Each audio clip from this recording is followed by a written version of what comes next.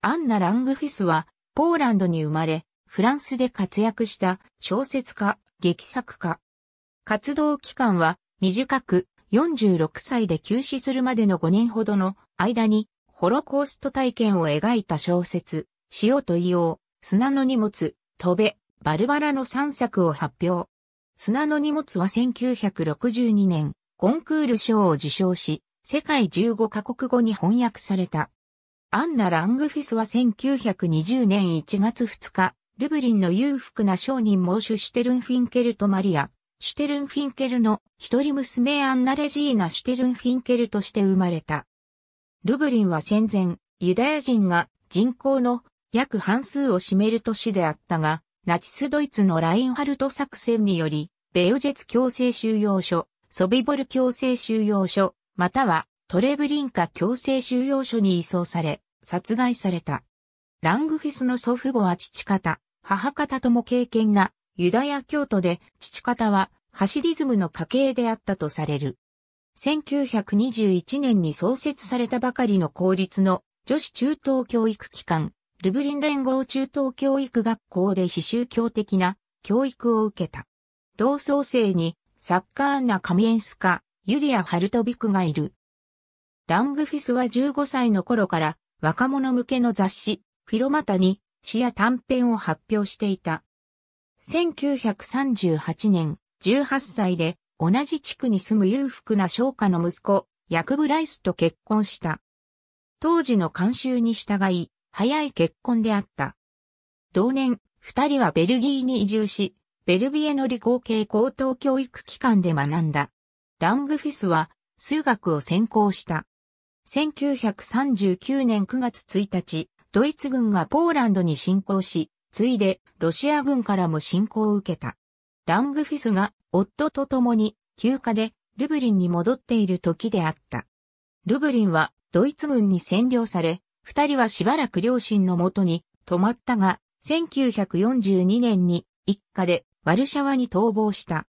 ワルシャワゲットーに隔離されたが、夫と共にアーリア区へ、さらに市の北部に逃れ、対独抵抗運動に参加した。ラングフュスの両親はゲットーで殺害されたか、または強制収容所に移送された後に死亡したとされる。対独抵抗運動で国内軍の諜報活動を行っていたラングフュスは何度もゲシュタポに逮捕され拷問を受けた。ノビドブルマゾビエツキの刑務所に収監された夫は処刑され、ラングフィスはプーツクの政治犯刑務所に送られた。1945年、ロシア軍により解放された。肉親をすべて失ったラングフィスは、しばらくルブリンで演劇を学んだ後、翌1946年に突出を決意した。当初は、デュエイ・マルメゾンのユダヤ人の孤児院で数学を教えた。1948年、10歳年長のアーロン、ラングフィスと結婚し、同年に第一子マリアが生まれた。一家はパンタンに住み、やがてサルセルに越した。アーロンは同じユダヤ系ポーランド人で、すでにポーランドにいた頃からの知り合いであった。二人はポーランド語のほか、フランス語、イディッシュ語、ドイツ語、英語を話したが、家庭では主にフランス語であった。と仏語も演劇を勉強し、ユダヤ人雑誌、ラルシュに評論を発表した。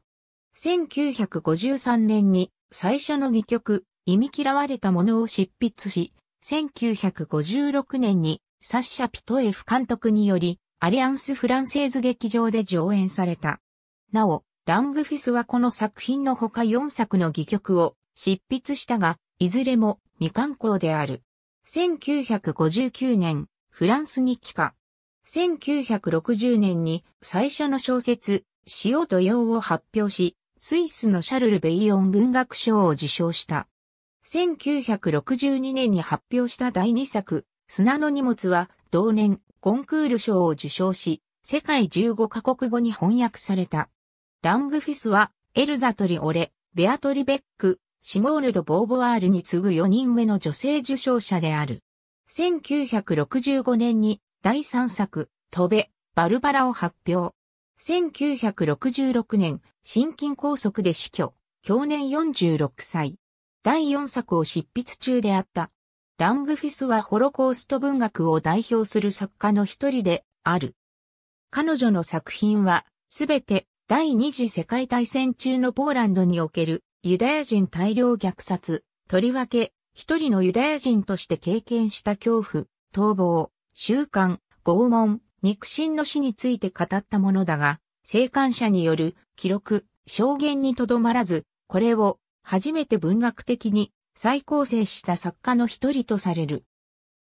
作家のエルベベルは、ホロコースト体験を小説に消化するというラングフィスのこの試みを大量虐殺という普遍性、客観性と一ユダヤ人の内的真実を包括的に描き出そうとする試みであり、記憶の継承にとどまらない。小説による記憶の再構成であるとしている。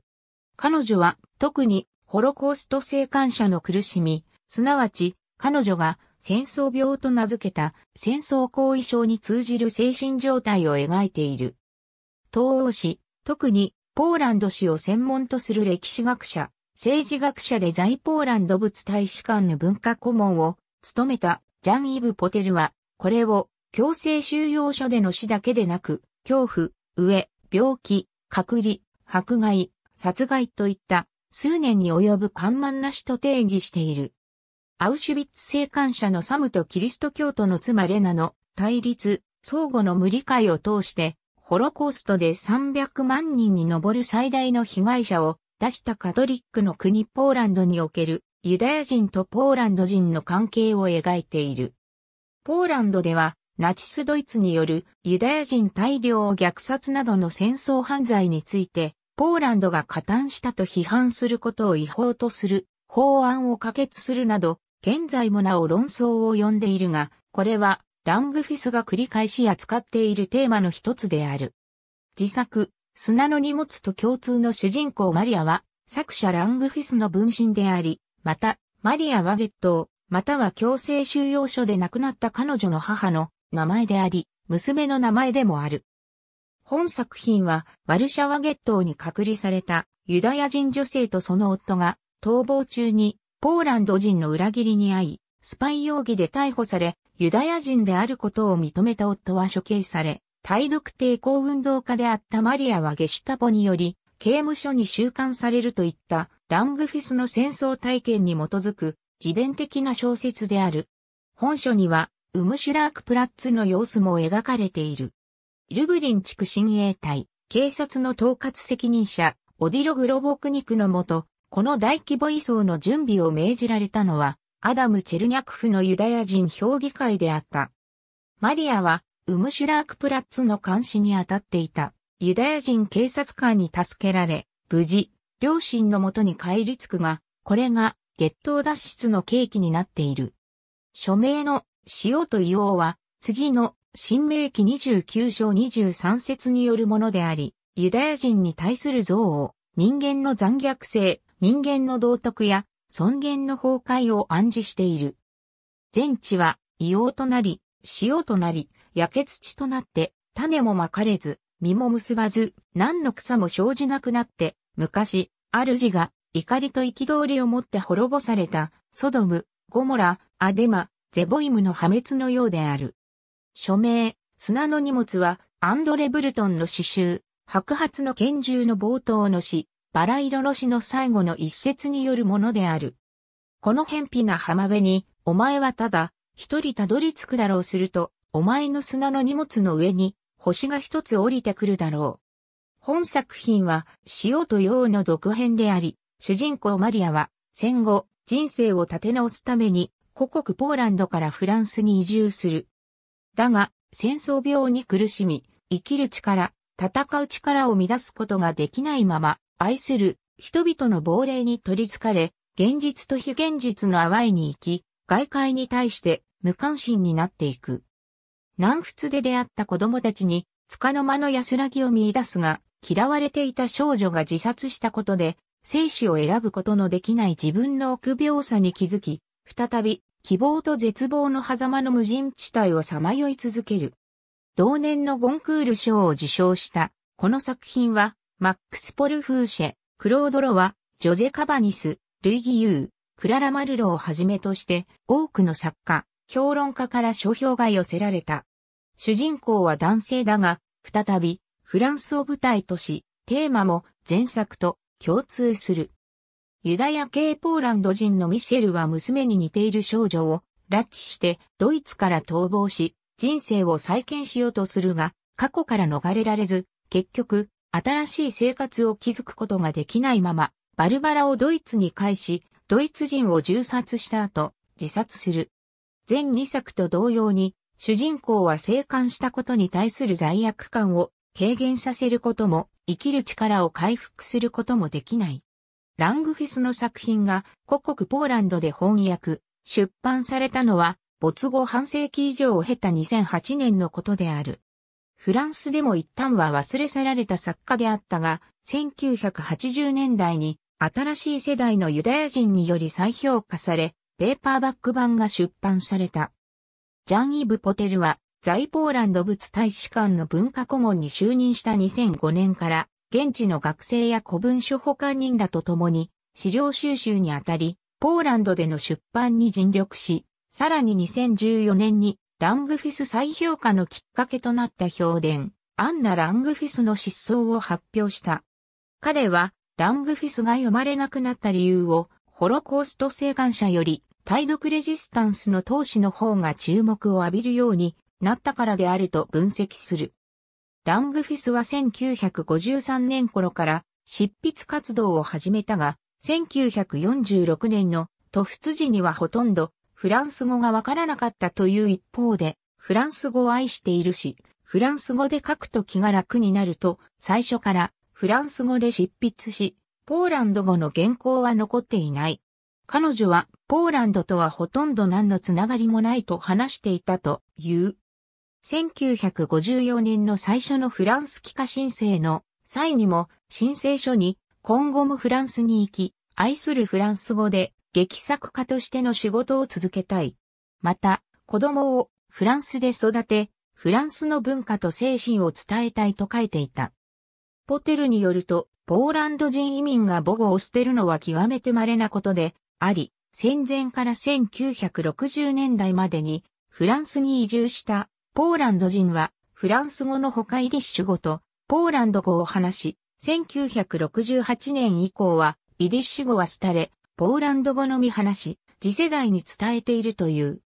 ポテルは、こうした状況を考えると、ラングフィスの母国を捨てる決意、言い換えるなら、書くことによって生きている人々との絆を回復し、人生をやり直そうという決意が、いかに固いものであるかがわかるとし、ラングフィスの次の言葉を引用している。